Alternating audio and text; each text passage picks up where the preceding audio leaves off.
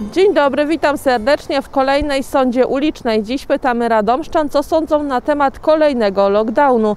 Jakie mają zdanie na temat zamykania muzeów czy części ze sklepów w galeriach handlowych.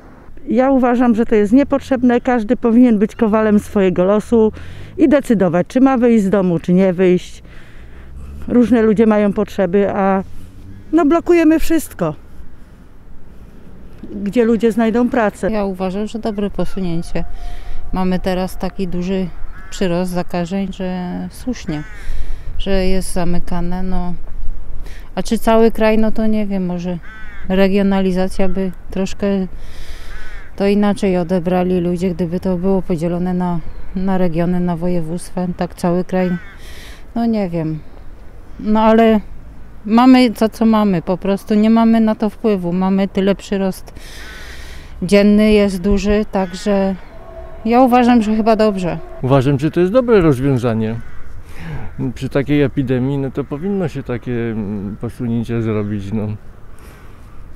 Trzeba to jakoś przetrwać jeszcze. Trzeba, jakoś trzeba. No. Też staram się nie wychodzić za dużo, tylko najpotrzebniejsze rzeczy się kupuje, jakąś żywność i siedzi się w domu.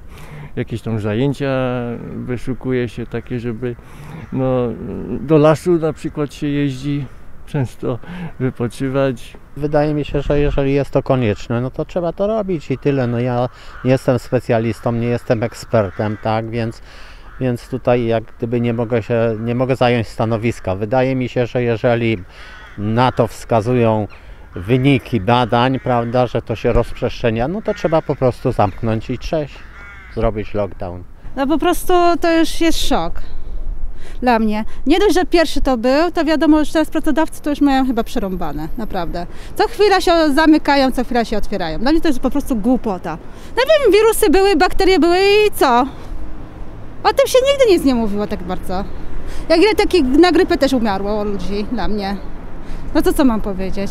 Po prostu chore to dla mnie. Według mnie dobrze, ale powinien być dłuższy okres, y, a jest bardzo często zmieniany. To może by tyle zakażeń nie było, jakby ludzie przestrzegali, nosili maseczki.